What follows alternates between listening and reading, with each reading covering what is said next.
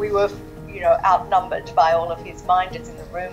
So there was a sense that we were you know we were not on um, neutral ground in a sense.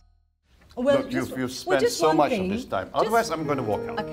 Jho Low. Thank you. Oh, no, no. Thank Can you. I just ask you about Jho Low? Because no, no, no, it is important. No, no, no. no, no. It is. Uh, why do You're you think he. No, no, no. Why? No, no, no. Just.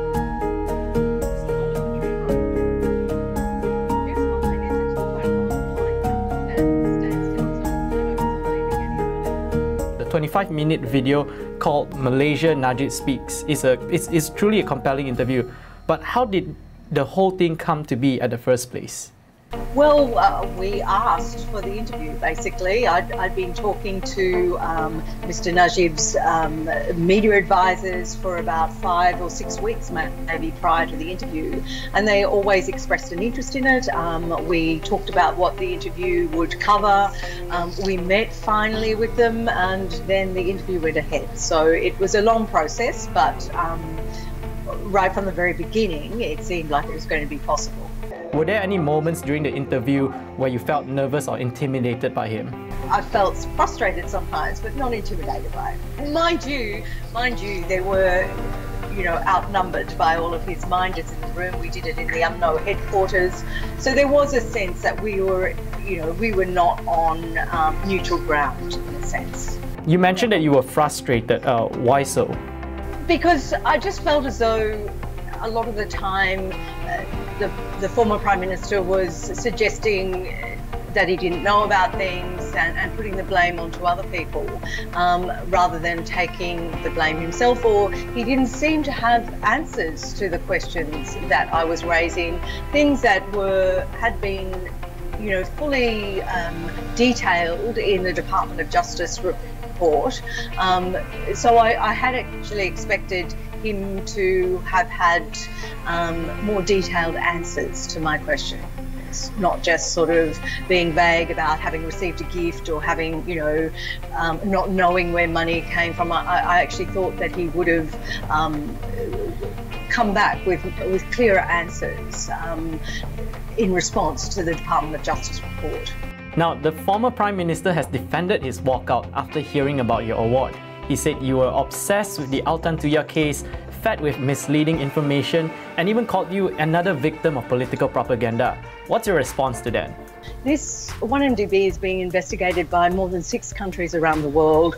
Charges are being laid. Um, in fact, obviously, the Prime Minister has been charged in Malaysia this is not propaganda. It has actually, you know, there are very detailed um, reports around the world about this. So um, I think that's just a ridiculous statement. Um, with regard to Altantuya, I'm not obsessed with Altantuya. I'm a journalist trying to do my job in the sense that there are so many questions about the murder of Altantuya. And also, you know, you have Sirul in Australia. He was sending text messages back to uh, Malaysia prior to being um, detained in Villawood Detention Centre, basically wanting $3 million to not bring down the Prime Minister.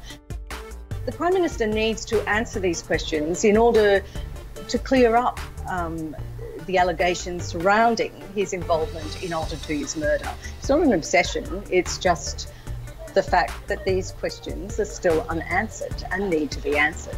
What was your reaction when he was like, "I'm done. I want. I'm, i want to get out." I wanted him to stay, and you know, obviously, he wanted to talk about the economy, which was fine, but we couldn't get to that until we'd answered the other question. Yeah, there were so many questions. I still got heaps of questions I didn't ask, obviously, because the interview does go in areas that you may not have anticipated. But um, yeah, that was my big that was my big concern that there were there were major things I hadn't asked him properly about that, and he was going to leave. So, you know, Najib has apologized previously for losing his cool and promised to do another interview with Al Jazeera. Do you think you'll be taking him up on that offer in the near future?